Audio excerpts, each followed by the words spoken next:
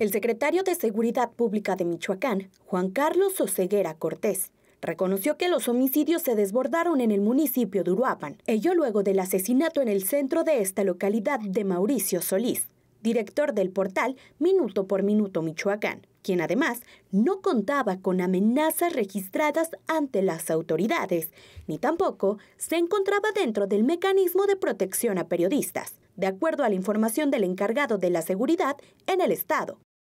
Bueno, respecto del el homicidio que se dio ayer del periodista, eh, con la información que hemos recabado desde la federación, desde el gobierno del estado, eh, con la fiscalía, el periodista no tenía alguna solicitud, algún mecanismo de protección ni había denunciado alguna amenaza ante las autoridades, por ahí lo había hecho en una red social sin que nosotros tuviéramos conocimiento pleno de la situación por la que él estaba atravesando.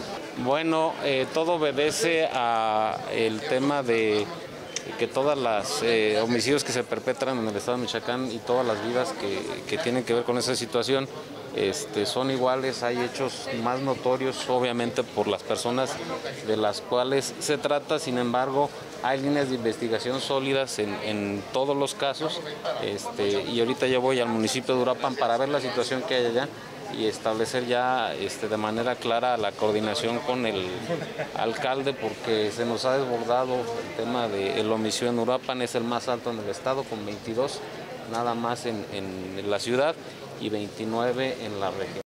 Añadió que ya se emitieron las medidas de protección dictadas por las autoridades, sin embargo se buscará que el municipio de Uruapan signe el convenio de colaboración en materia de seguridad para poder reducir este índice de violencia.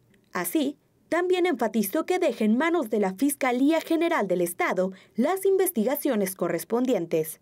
Bueno, nosotros ya tenemos medidas de protección ordenadas por las autoridades. Yo dejo la investigación en manos de la Fiscalía, que es a quien le corresponde ya en esta instancia, y nosotros vamos con el secretario de gobierno ahorita ya para Uruapan.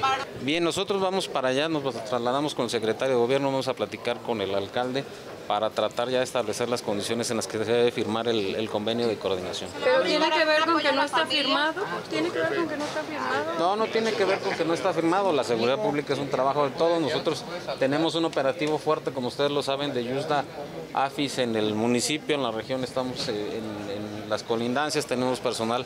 A la entrada está trabajando nuestro C5, en este caso la extensión de Uruapan con normalidad, atendiendo, todas las situaciones. A ver, nosotros estamos trabajando de manera coordinada en la estrategia nacional. Estamos en los 100 días, eh, como ustedes lo saben, en el producto de limón venimos trabajando desde hace ya bastante tiempo en coordinación con Guardia Nacional y Sedena, pero bueno, ustedes saben que la condición con el presidente municipal de Urapan es un poquito diferente y que él tiene su propia forma de, de pensar en la materia de seguridad. Mauricio Solís es el primer periodista asesinado en el sexenio de la presidenta Claudia Sheinbaum Pardo.